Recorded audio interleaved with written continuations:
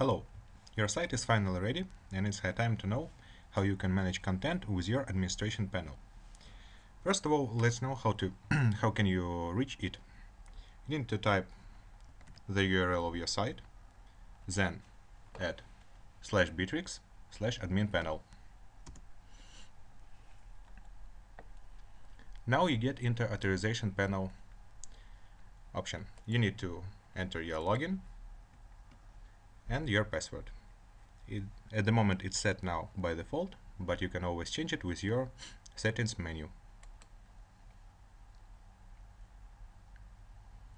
As Bitrix CMS a Russian uh, development, it always has a Russian interface. You can always switch it into English by pressing English button.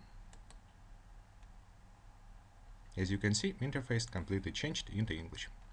What you can see on the navigation menu. Left sidebar provides you different tabs leading into different functionality of Bitrix CMS. Desktop button allows you uh, working with your bookmarks that lead you into different uh, uh, pages of uh, navigation panel. Basic information on the orders that is presented by Statistics tab and Orders tab, which provides more detailed information on proper order, total amount, customer, and payment status. On the right side of desktop uh, screen, you can see uh, extra information for administrators, security scanner, performance monitor, and etc. In the Content tab, you can work with your content, which will be reviewed in the following video.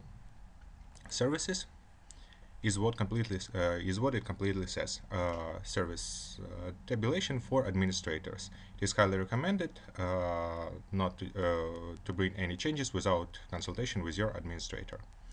In eStore, you can always review your products, information about customers, and what's most important, orders. It also will be reviewed in the following video. Marketplace is another service tab which is uh, which provides uh, new plugins for your Bitrix. It is always recommended to consult your administrator before you enter it. Finally, settings is a place where you can manage users and uh, change some basic information on the site.